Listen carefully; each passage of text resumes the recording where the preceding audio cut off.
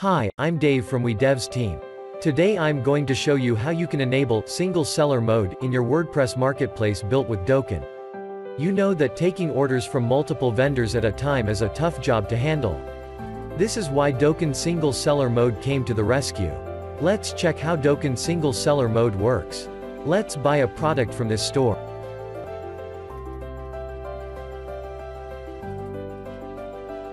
I'm selecting a product and adding it to my cart. You can see there is only one product in my cart. I'm going to continue shopping.